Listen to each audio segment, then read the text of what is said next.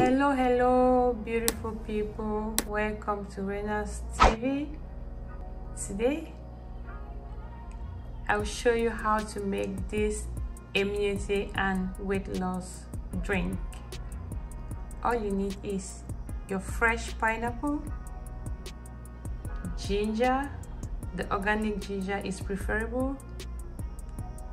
Lemon. And you have your clove for this drink I'm not going to throw away anything.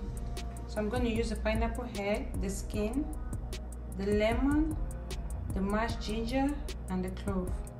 So I'll add in everything into my pot add in some water and boil for 25 to 30 minutes.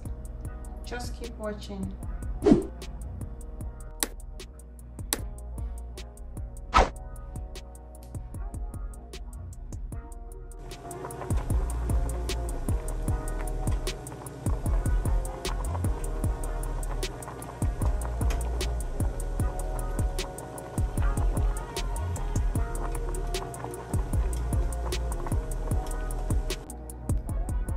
extract I got from the pineapple peel, ginger, lemon, and clove. Can you see the vapor? So I'm going to blend the pineapples, squeeze it, and extract the juice. Then I will mix up everything, put in the fridge, let it cool, and we are good to go.